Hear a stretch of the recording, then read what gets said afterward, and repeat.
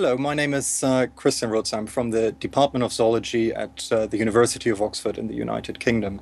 The second scene was uh, filmed in an experimental context, and it was filmed by an infrared video camera that was hidden inside an experimental lock, which we positioned in the forest to, to attract crows.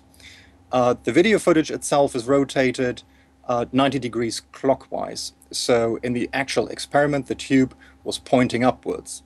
Uh, and we can see how a wild crow, which is not in view, is inserting a stick tool uh, to tease the larva. And it uses the tool to, to actually irritate the larva um, until it gets so angry that it opens its mandibles and uh, bites the tip of the tool and can then be levered out.